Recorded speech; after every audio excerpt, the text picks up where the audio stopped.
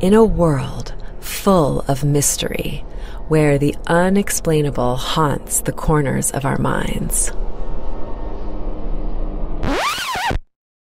This isn't your standard mystery show.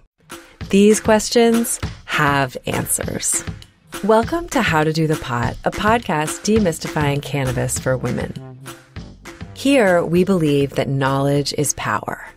That's why we speak with experts. I'm a neuroscientist. And I'm an integrative cannabis physician. I'm the CEO and co founder. I am a cannabis nurse. And special guests. I sing and play guitar. And I play bass. Police officer. I am the director of community. I'm a cannabis chef. And we hear from women just like you. First time I bought cannabis in a legal dispensary. The first time was with my dad. the first time that I purchased legal weed. We discuss everything from sleep and stress, discovering CBD changed her life. Using cannabis to help me with my lupus. And it's been very transformative. To yes. yes. Use the cannabis for sex.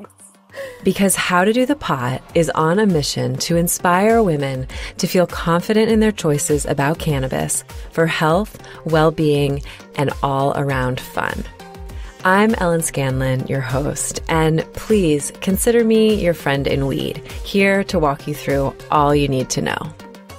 Because as much as we know about cannabis, it's basically a secret history, and I love a mystery. We know you're curious. What are you waiting for? Subscribe to How to Do the Pot today, wherever you get your podcasts.